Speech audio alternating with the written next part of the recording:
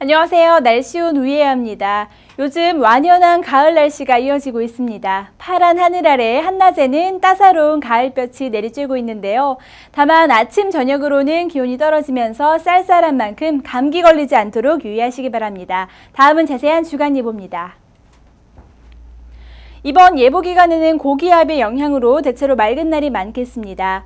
기온은 전반에 평년과 비슷하거나 조금 낮겠고 후반에는 비슷하겠습니다.